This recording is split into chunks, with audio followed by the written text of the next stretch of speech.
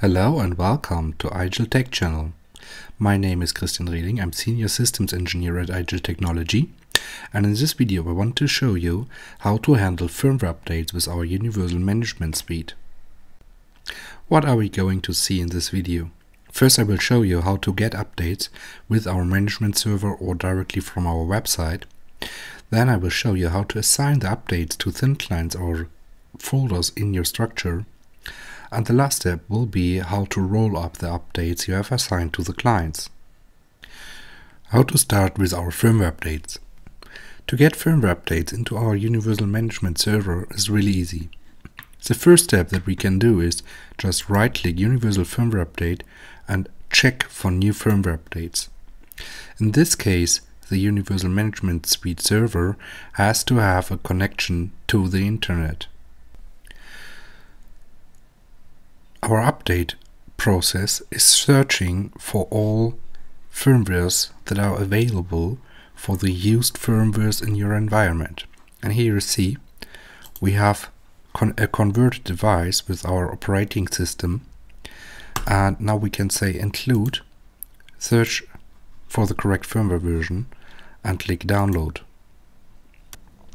Now the download is starting and it will automatically create all necessary information for the firmware update and include it to the management server. The next possibility is to manually download our firmware updates from our website. Just go on myigel.biz and now we have the possibility to download firmware for the thin clients or in our case we will take a download for the desktop converter. And our desktop converter, we have the folder updates. And then we go to version 5. And you see we have all firmware versions available here. I will just download version 508. After we have downloaded the firmware, we can just right-click Universal Firmware Update and take the point Firmware Archive zip file to Universal Firmware Update. Here we can select where we downloaded the firmware version. Select open. We can give the firmware name and we have to select where to put the firmware in our file transfer. So select UMS file transfer and say open. Now it will unzip the firmware update and will put it to our web server that is built in in our management server.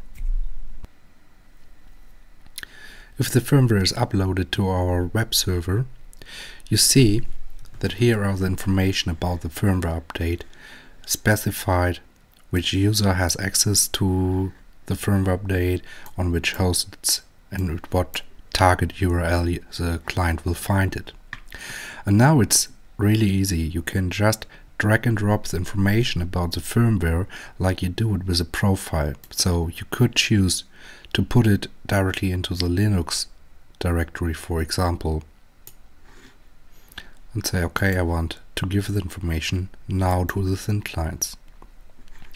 Now all the thin clients in the environment here will give, get the information about a new configuration and then we will just write the information about the firmware update to the thin client. But the firmware update is not started at the moment. To start the firmware update, we have to manually start the process. We can do it for all clients if we want to. If we right click Linux, and then we have the possibility to start the update or to update the systems on a shutdown. But we also could do it here directly on a thin client. You see the firmware update information is sent to the thin client. He gets some new information and he wants to do the update. You can just click OK and then the firmware update is starting. Our firmware update process is a little bit special. We will only update the files that are really needed for the update. We will not roll out the whole package to the thin clients. You see the update process is telling us now it's the desktop, before it was the system, and then the clients that they are active and used um, will be updated.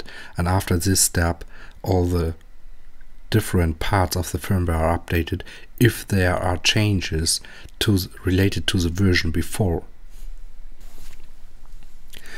After all the updates are done, the system will do a reboot. And after the firmware update is done and the reboot is done, your system is up and running again. All the configuration you did to the system is working like before, so you don't have to reconfigure the device after the firmware update. Maybe you want to go back to an older version. Normally it's not a problem to also do a firmware downgrade for our update process. It doesn't matter if it's an up or downgrade. So we will just add an older firmware to our management server and then we will roll this out to another client. First I will remove the old firmware information. Put it on Linux, just delete this. And then I will take the old firmware, will put it to the thin client and say, okay, give him the information now. If we take a look to the template, we see now he has 508100 and now I will do the firmware update or downgrade to 507. You just click OK and you see it's the same process, it doesn't matter from which version to which version. After we are doing this update, the thin client will have 507. So let's take a look I will just refresh the information about the system and you see here it's gone back to 507. So now you have seen how easy it is to deploy a firmware update to the thin clients and take a look to the next video for seeing how to work with views and jobs to automate the process for your whole infrastructure. Thanks for your attention. If you have any questions, feel free to contact our pre-sale support or take a look to the IGEL eDocs.